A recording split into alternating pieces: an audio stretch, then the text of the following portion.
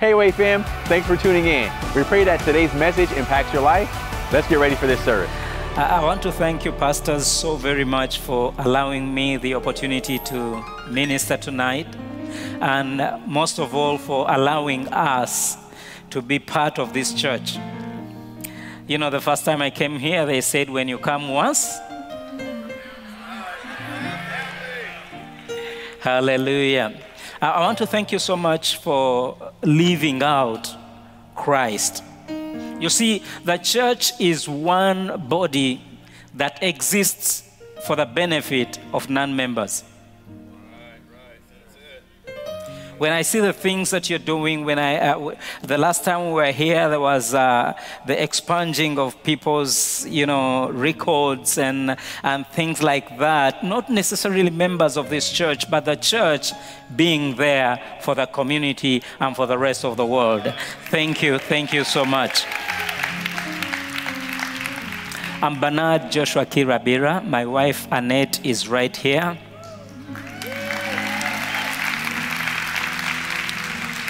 We serve in Uganda. Um, my wife works with um anti human trafficking and uh, ladies that um, into sexual exploitation, those that are being exploited sexually, and getting those back into a normal life. Amen? Uh, I serve in so many capacities, and today I want us to look at uh, the Island School, a school that this church is building or helping to build in Uganda. Shall we have some of those slides, please? Okay, somewhere along the way, that truck of ours was knocked by this seemingly small car, but the effect was serious. So many things were damaged, and this church helped us get that truck back to what it looks like over there.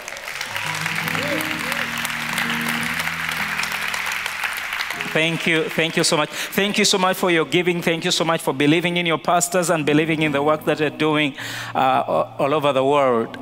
Let- Let's move on to, yeah, so with that truck, we do so many things. That is, uh, up there we have uh, national leaders uh, seminar. We bring together leaders, pastors from all over the country, and, and, and here we have an open air crusade.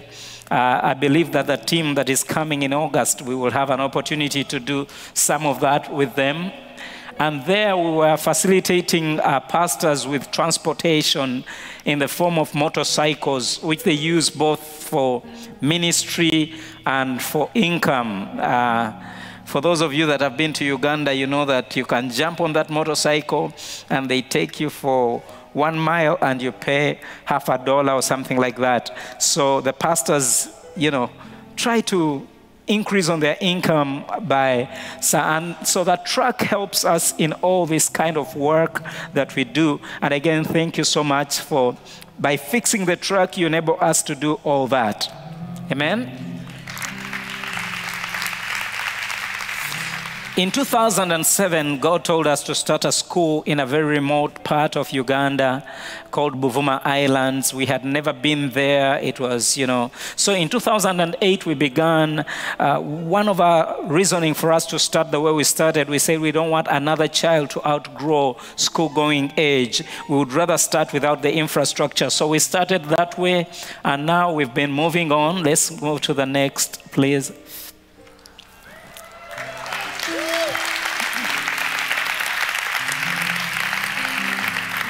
That was renovated by you people here. So this is the before. By the time the team here visited Uganda, the building looked like that and it was threatening to everyone that was in it. And then you, as a church, have fixed the building to be that right now, renovated that. So, um, you sponsored the draining, uh, the, the area used to flood, and so this draining was sponsored by this church, and that's why you can see right in the middle there, we have some t shirts that look like you've seen them somewhere. And so we did that work, um, you know, by draining that water. They call it griding, and you dig and lower the water table and then drain the water into the lake. So now, when it rains, it does not flood forever. The water keeps going into the lake, and so that the, the general ground is dry. Uh, let's move to the next one, please. So that is the team that came to Uganda, part of the team that came to Uganda. Uh, over there, we had just gotten to the island school. And then over there with the children at our church, the children's church. And here, you bought shoes and you were giving out the shoes to the children at the island school.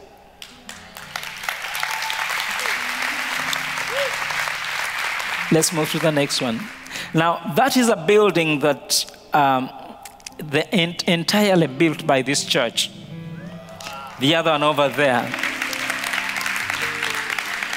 We were attacked by rain, and all we, ha- we had left were three classrooms for instead of 10 or 11 we had only three and so this church has built another three over there everything to finish that building is almost there other than just a few things these are candidates and as you realize, one of them was using a wheelchair, and so we have a few things to do on that building.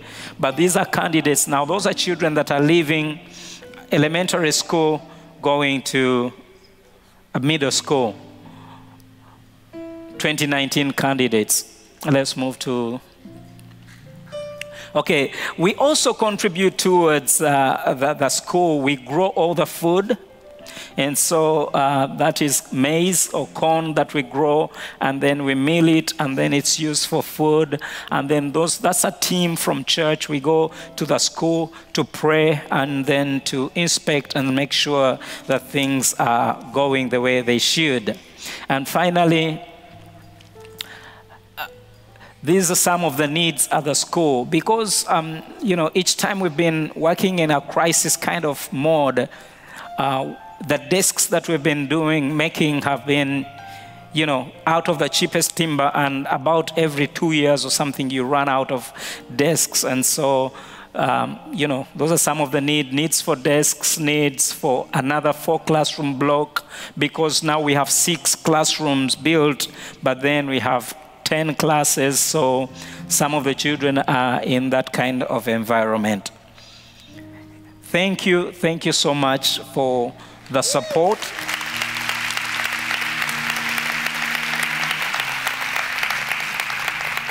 And in August, when you send a team, um, we will be going to the island school and we'll be seeing things as they will be by August.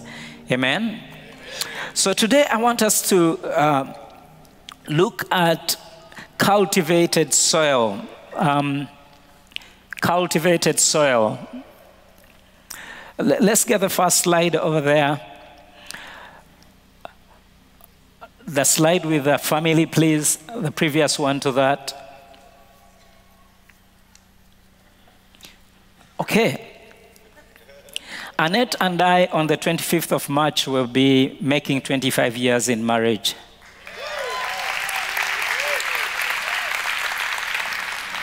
And God has blessed us with uh, um, three biological sons. Philip is uh, a third year student, mechanical engineering in uh, Grand Rapids, Michigan. And uh, Benjamin is a second year law student in a university in Mauritius, in Africa. And the last one here is finishing middle school, going to high school. He's called Jonathan. So we have 22, 19, and 15. Amen? Cultivated soil. Whenever you're going to do agriculture, and I come from an agricultural country, you prepare the soils. And in the book of Luke, chapter 8, beginning at verse 14, I mean, verse 4 to verse 13, we find what we normally call the parable of the sower. But today I want to look at it differently. I want to look at it as the parable of the soils. Because the sower is the same, he's one, but then the soils are four. So when you look at the soil, because all the seeds that were planted in the different types of soil had the capacity to bear fruit. Seed has the capacity to bear fruit. So the problem is not the seed. Every church has the capacity to grow like this one has grown. So the problem is not the seed. Your neighbor has the capacity to grow to full capacity. The problem is not the seed. And so Jesus goes on to say, Oh, the Bible says one day, um, I'm, I'm reading from verse 4. One day Jesus told a story to a large crowd that had gathered from many towns and to hear him. A farmer went out to plant his seed, and he scattered as he scattered it across his field, some fell on a footpath where it was stepped on, and the birds ate it.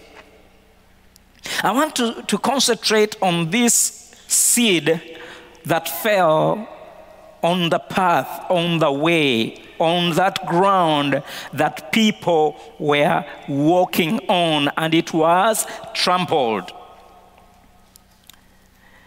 God has planted seeds in our lives, and even in your life, God has planted some seed. But at times, the reason why the seed does not grow is because we are trampled or we were trampled. Someone walked on us, someone is walking on us, someone abused us. And because of what was done to us by people, we do not bear the expected results.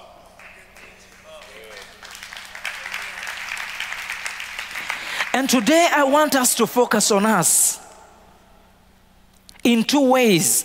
Number one, I want us to begin to cultivate our lives for the ministry, for the calling, for the things that God wants to do in our lives. Many times I've met people here in the United States and I've invited them to come to Uganda. And they tell me that their income cannot allow them to come to Uganda. When is the last time you compared the income in the United States to the income in Uganda?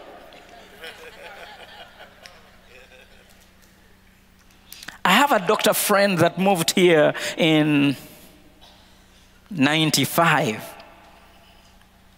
And the first job he did was to mop floors.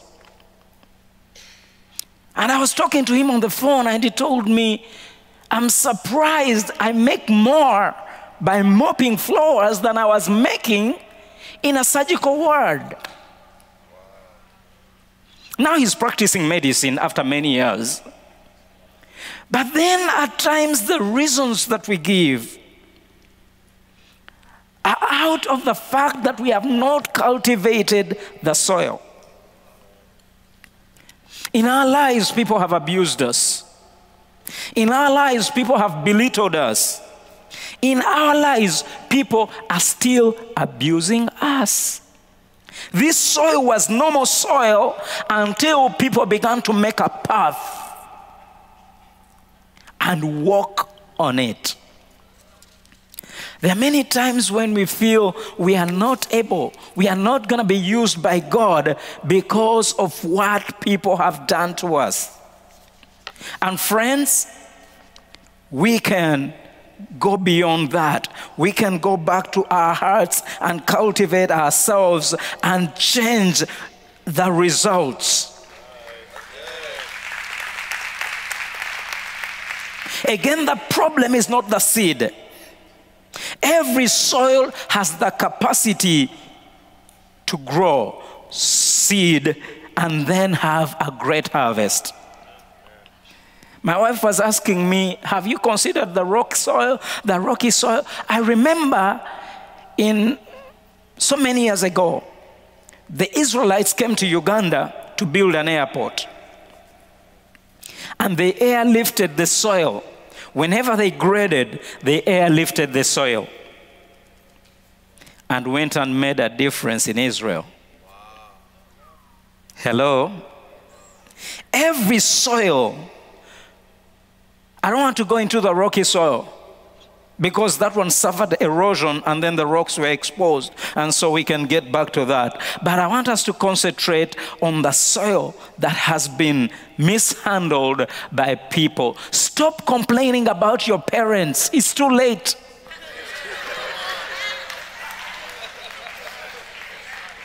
Remember, you are the firstborn.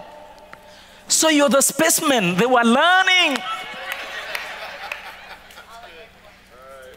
I'm sorry it took so long for them to learn. And they are human. And every human being has error. Stop complaining about being the last born. Your parents had only two children. And you're not the first. Oh, you know, I've got the last born syndrome. I've got the first born syndrome. All right. Can you go back and cultivate the soil? By the way, where you came to Jesus is the firstborn, you're not. And the lastborns are still coming in even up to today, so you're not the lastborn either. Cultivate the soil. Let us get rid of what people have done to us. Get over them because God has the power to help us. God has great use for you. Can you imagine this church helping children in a place where you fly 23 hours, land after 23 hours, and before you even have a nap, you have a lot of work to do, and, and then wake up. Ask the team that came to Uganda, wake up at four and be on the road. Get out of the vehicle and go on a ferry. Get off of the ferry and go in another vehicle and go to help children. Hello? Jesus has a lot to do with us. Let us remove everything. And I want to ask you today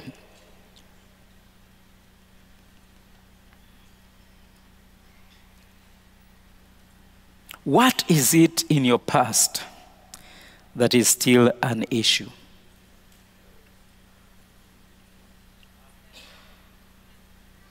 What have people done to you? By the way, people are people. And they are going to be people. Some of them don't even know they hurt you.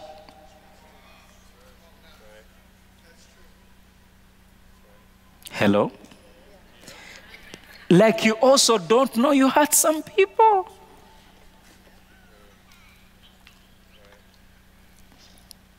Today, friends, we have two major things to do. We have to cultivate our lives, our soil, to cultivate it for the seed. But we have also to remember the people around us. Because in the process of the trampling that you're still crying about, people walk all over me, they despise me, they do this to me. In that process, you are doing the same to those around you.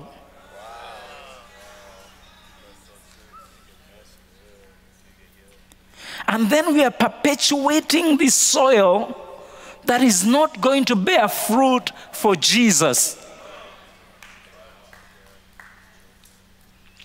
Will you kindly find time to sit with the people around you, the loved ones around you, and ask them whether they know that you love them? How many of us have teenagers in our homes? Do they know you love them?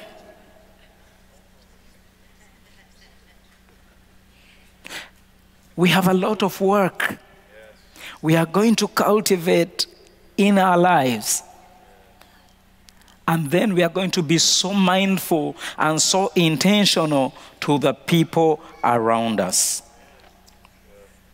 Are you expressing love to your loved ones in a way they understand? Because if you're not,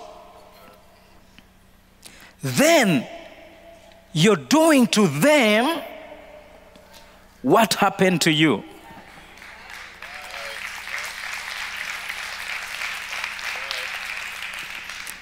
If I gave you the best car in the world and I spoke to you in Chinese without a virus, but in Chinese.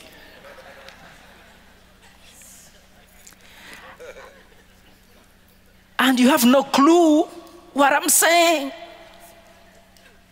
Some of us love everyone around us so much, but we are loving them in a language they don't understand. And we have to go back and deal with that. Because without dealing with it, we are hardening that soil. Remember, we are Christians. Hello? One of the reasons we are determined to give the best to our children, which is challenging, is because mommy and daddy met in engineering school. And so much has happened along the way from those days. But mommy and daddy are in full time ministry. And in Africa, the minister takes care of the ministry not the other way around.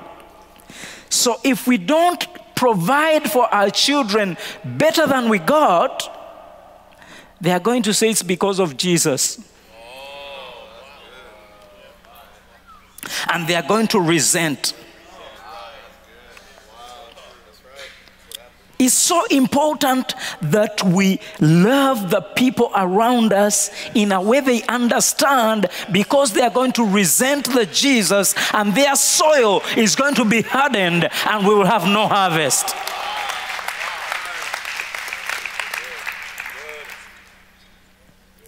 So, if our loved ones do not acknowledge that we love them, we are hardening that soil and we have a responsibility to go and find out if our loved ones actually acknowledge that we love them.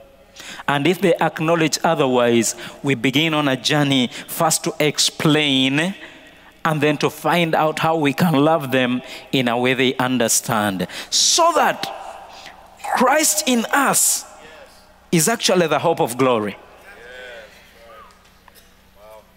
Cultivate the soil and it will produce a harvest. Hey, Way fam, thanks for tuning in. I pray that you received a blessing from this message. And if you would like to support this ministry, click the link below. And until then, see you next time.